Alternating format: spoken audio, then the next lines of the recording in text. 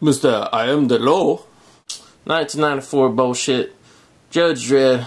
Judge fucking star Sylvester Stallone, Rob Schneider, man. Crazy fucking movie. This is one of my favorite popcorn movies from when I was a kid. Well, probably not when I was a kid, probably when I was a teenager. A lot of people shit on this movie. I actually thought it was pretty cool for what it's tried to be. Anyway, this is the Universum Film Steelbook right here. It just came out a few weeks ago.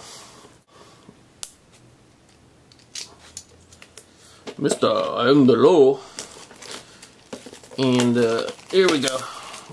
Lot some people don't like this on steelbooks when they put a Blu-ray disc little border bullshit on there. I think it looks okay, especially with this one color scheme.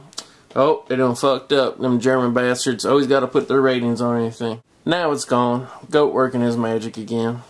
Steelbook has more of a matte finish as you can see which I actually like because the black is is kind of matte, but this part, as you see, when the light hits, it's still kind of shining. Makes that shit shine out a little bit more. Got the spine right there, of course.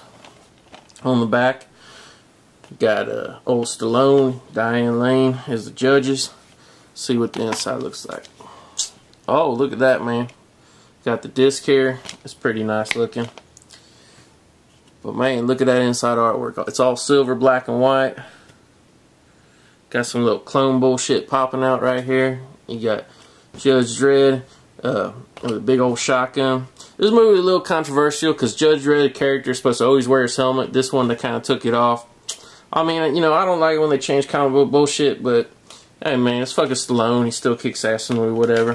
They uh, just remade this. It ain't come out yet with Karl Urban.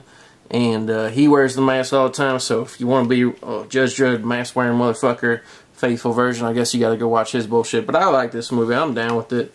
I'm, I was happy they released kind of such an obs obscure movie in a, you know, foreign nice steelbook edition. But uh, that's about it. The back says it's ABC. Should play in any player in the world. So if you like this movie, I don't know if there is an American version. I haven't seen it at Walmart yet. But I would just rather get this, man. You might pay a little more to get this little foreign import bullshit. But it's got the nice looking case. You can have this on your shelf to the end of time and fucking ain't nobody gonna be a fucking with your Judge Dredd bullshit.